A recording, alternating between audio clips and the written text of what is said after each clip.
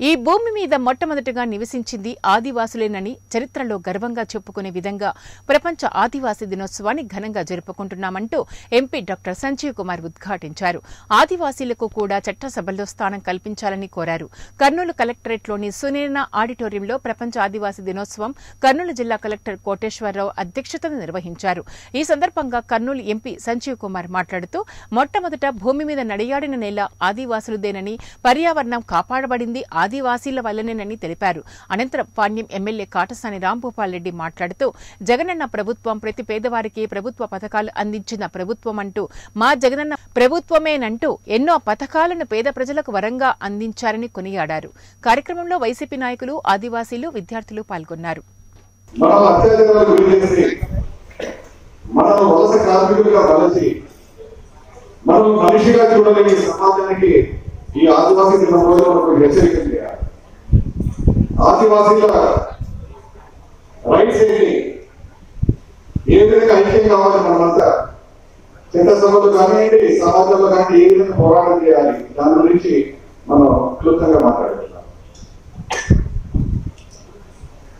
సుమారు ఇరవై ఎనిమిది సంవత్సరాల క్రితం యునైటెడ్ నేషన్స్ డిక్లరేషన్ ద్వారా ఈ ఆదివాసీ దినం చేసుకుంటాం ప్రపంచంలో చాలా నాటని ఉద్దేశంతోనే ఈ రోజు అమ్మఒడితో పాటు జగనన్న విద్యా దీవెన జగనన్న వత్స దీవెన ఇచ్చే పరిస్థితి రాష్ట్ర ముఖ్యమంత్రి జగన్మోహన్ రెడ్డి గారు ఇవ్వడం జరుగుతుంది.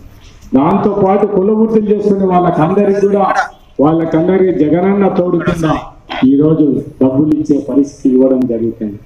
దాంతో పాటు ఎవరైతే అక్క చెల్లెలు వాళ్ళందరూ ఉన్నారో పొదుపు లక్ష్య గ్రూపు లో ఉండే వాళ్ళు కాకుండానే కూడా నలభై ఐదు సంవత్సరాల పైబడిన వారికి అందరికి కూడా సంవత్సరానికి పద్దెనిమిది వేల ఏడు వందలు కూడా ఆర్థికంగా అభివృద్ధి చెందడానికి చేసి రాష్ట్ర ముఖ్యమంత్రి జగన్మోహన్ రెడ్డి గారిని మన అందరం కూడా మీరు అందరూ కూడా ఒక్కసారి ఆలోచించమని నేను సభాముఖంగా మీకు విజ్ఞప్తి చేస్తున్నాను.